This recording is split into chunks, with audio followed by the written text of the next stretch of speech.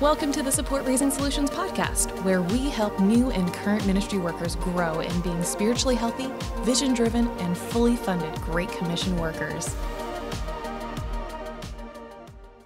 Welcome to the SRS podcast. I am your host today, Callie Davis. I am the resource designer at Support Raising Solutions, and I'm so excited to be joined by Micah and Katherine Aguirre. They have been on staff at the Center for Mission Mobilization, which is actually the parent organization to SRS. But as they've been on staff, they have just recently taken the step into full blown support raising. So they have attended training and they're looking to be eventually full time working in the field on support. So I am so excited you guys could join us and, and be here today and share some of your story.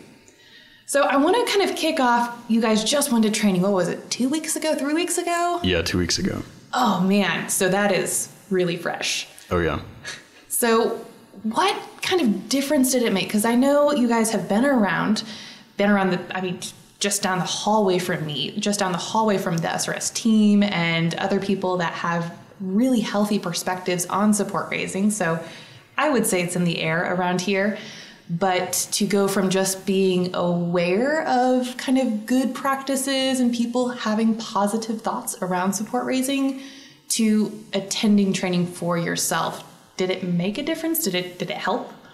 It made a huge difference in my mind. And kind of like you said like we were both around vision driven fully funded spiritually healthy people. So i kind of thought i knew enough to just support raise, and I didn't expect to learn as much as I did. Mm-hmm. Well, um, and Micah, how long have you been around the CMM? It's did you grow up around us? I feel like no, it's been since I moved back to the U.S. like okay. five years ago. So but I've been like years. involved off and on, yeah, for like 5 mm-hmm. years. And Katherine, you've been here for how long? Um, full time, almost a year. I've been involved throughout those five years a little bit. Okay, so you you guys have both been in the office around these staff for a significant amount of time, but it wasn't enough. No, I, doing training, I realized I was still really scared of support raising, and a lot of the things I knew in my head, I didn't really believe in my heart about support raising, like the biblical basis. Mm. Doing some of the pre work really I realized it changed my perspective in my heart as I like actually became excited to support raise instead of scared and nervous and anxious. Mm. And that was really good. Do you have any idea what what was so scary about support raising? I I, I grew up on the mission field. My parents are missionaries, um, and some of the we were with a, diff, a couple different organizations, um, and but we were always underfunded, and that was kind of just how it was. You know, yeah. you just sacrificed, and if someone like missionaries weren't supposed to have a lot of money in my mind. So doing ministry, I almost realized I felt guilty, like asking people to support me financially because I thought I should just kind of in the back of my head and in my heart, I just felt like I should be kind of suffering or just volunteering my time or something. Mm-hmm. I shouldn't really be getting paid for it. Yeah, that is very common, unfortunately. Yeah. Wow. So what what happened? You went to training and I mean, I, I know we have these kind of mountaintop experiences. You finally get in a room with everyone who is buying into this idea. It suddenly starts making so much more sense. Did it, did it has it actually made a difference as you've been meeting with people, trying to have these first couple weeks of raising support, or when you left that beautiful two days of training with all the, the shiny lights and all the fun conversations, reality hit? A little bit, but I was still I still am really excited yeah. Especially after the conversations of what your ministry could look like without being anxious about finances mm. and not you're not asking people for money you're inviting them into into your ministry and into your work mm-hmm. i'm actually i actually am excited to you know build a support team and then do ministry wow yeah it's been really cool like seeing like the shift in him mostly but both of us really like like he was kind of like you could tell like physically dreading support mm-hmm. raising but then like as he started get, getting more into like doing that pre-work that we talked about and like really reading those scriptures like you could literally see like his body change mm-hmm. and like get really excited and like intentional about like setting up appointments and doing the work and stuff so it's been really cool And how has it been going? How how have your appointments been? So we'll be support raising full time beginning beginning of next month. But we've had a, Okay. a couple appointments mm-hmm. and quite a few phone calls.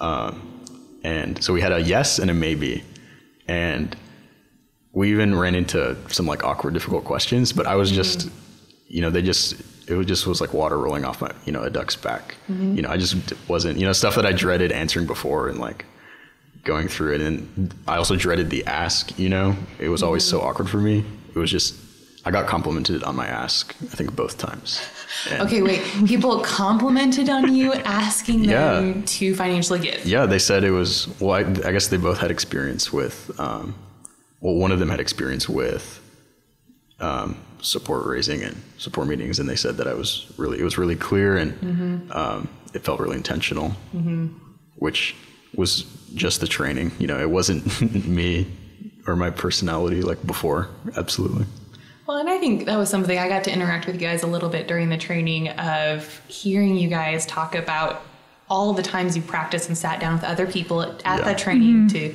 share your presentation, to share those conversational points of your ministry and vision, and how how practicing that ask was starting to get so much better. yeah and you guys even saw that uh, Yes. more than just feedback of people that were talking with you i know i've been in the in the partner role of someone presenting their ministry and my ministry experience i totally knew what was about to happen i knew they were going to ask me for money only they just couldn't get to the point Yeah. like i couldn't get to the point of saying yes because they just wouldn't ask and then I start to wonder, like, well, did they actually want me to give? They, okay, they're not mentioning finances anymore. I'm, I'm no longer sure. I'm second guessing myself. They're not saying anything, and so the value of learning and practicing clear communication is so so valuable, and mm-hmm. that, that's amazing that they gave you that feedback. Yeah, it was really encouraging. And kind of like you said, doing the practice mm-hmm. appointments during the training, it just made me realize how many more reps like I needed to do, if that makes sense. And especially us as a couple, because we had both support race individually and been successful, but we had never done it together. So that was oh, even yeah. more stuff to learn. Mm-hmm. And like like our first appointment, I forgot to ask because I got so excited about sharing our like ministry vision, mm-hmm. and I sat and I was like, yeah, and that's it. And he was like, well, you forgot to you forgot to ask. This was in training. Yeah, in, Yeah, tr- the in training. training, yeah. And um, if it wasn't for that appointment, I probably would keep forgetting every once in a while. you know? Now I'm curious, have you guys then developed a good rhythm for kind of who shares about what or kind of how you help each other in your ministry appointments? Yeah, and we'll kind of talk about it before and after, Okay. depending on our relationship to the person we're having the appointment with. Okay, yeah. You know, if I'm more friends with them, I'll kind of communicate more, and I'll have Katherine share her role. Mm-hmm. If she's, you know, the person that set up the appointment and has more of a relationship, then I'll let her share some more of her heart, Mm-hmm. and passion, some of that, some kind of just stuff like that. Yeah. Now, Katherine, I feel like you told me that you were always going to make Micah do the ask. Has that held true? No, Okay. I did do one ask. It was, I did the ask. Okay.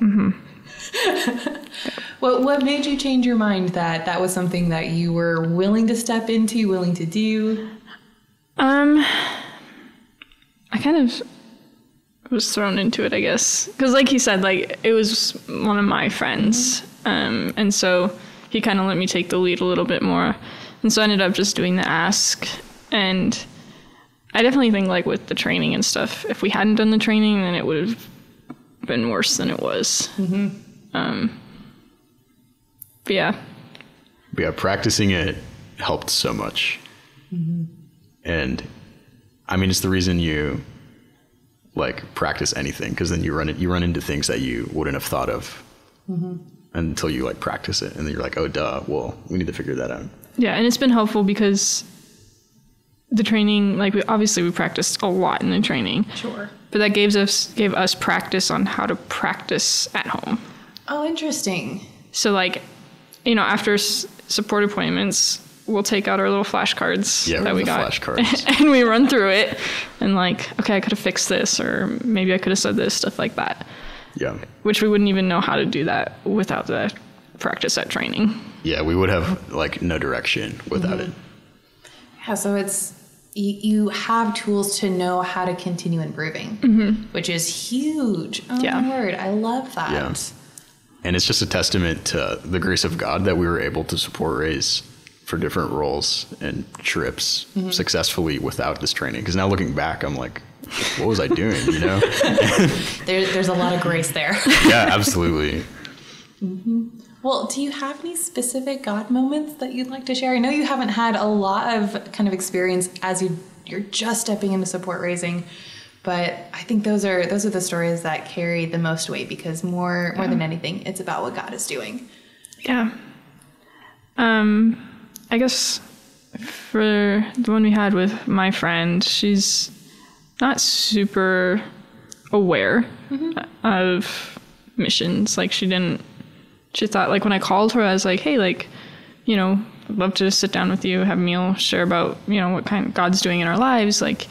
Um, and she automatically assumed we were pregnant, or I was pregnant. Oh boy. And then she talked to her mom, and her mom um, was like, "No, they work with an agency that support raises." You know, so she just she had no idea that that was even a thing. So it's like really cool to kind of share that with her, and like, this is why we do it. This is, you know, even just telling her about like unreached peoples and stuff like that was super cool. Yeah, it's a cool mobilization opportunity. Yeah. And it's, I've cried almost every time I share our like, um, some of our ministry, like vision and kind of personal testimony. And I've like never done that. Like, I've never cried sharing that before until I started support raising. But it's just like so sweet being able to share that with people. And the, like, I don't know, when they, it's just, it's just like a huge, huge blessing to be able to like invite people into that. Well, that's that's a huge perspective and heart shift when you get to that point because I think where so many of us start when we're thinking we know what support raising is is I will give you this informational brochure and I will walk through it one, two, three. Here's what I'm going to do. Here's the mission statement of my organization. Great. Do you want to give? Yeah. and there is no connection for why we care, why we're stepping into this. We mm-hmm. miss all that because we're just trying to run through the bullet points.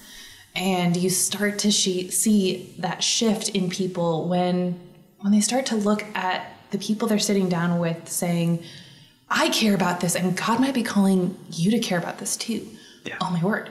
We get to be passionate about this together. Yeah. And then this is where I get really excited about support raising because this is why I do what I do. This is why I help people understand this about support raising because suddenly suddenly your passion becomes infectious and it's exciting to meet with people and it's exciting to invite them to be a part of it. And that's it shifts the whole tone and it becomes something so much I think so much more precious because mm. You're going before the Lord with this other person and that kind of at least for me that's what removes so much of the fear and the anxiety and are they going to say yes or no or am i going to remember how to explain the giving form because i get to share what god is doing and see that light go on in their eyes of, Yeah. wow Yeah. Yeah. and even even if they say no and even if they this isn't something they want to be a part of i know they saw a picture of what god is doing and that is still so neat Yeah. It's mm-hmm. it's almost it's more impactful even than just sharing your passion in a normal conversation because you're sharing it and you're like inviting them into it in a tangible mm-hmm. way that they have to like immediately there's an immediate buy-in. oh yeah It's almost like sharing the gospel where you're telling someone about something, you know, that's changed your life and then you're inviting them into it. mm-hmm. And it's like a big it's like It's a big ask. Yeah. Mm-hmm. So now i'm excited Me too. Uh, well, Micah and Katherine, thank you so much for sharing just kind of where you are as you're just launching in this journey of building a partnership team. It was fun to hear some of your story and hear what God is doing, and we wish you the absolute best as you go Thank you. And listeners, thank you guys for joining us, and hopefully, you guys too have been encouraged and are looking forward to what God has in store for you and your ministry partners. Have a great day. Thanks for joining us today, and please be sure to subscribe so you don't miss an episode as we work to give more insight into building and maintaining your ministry partnership team.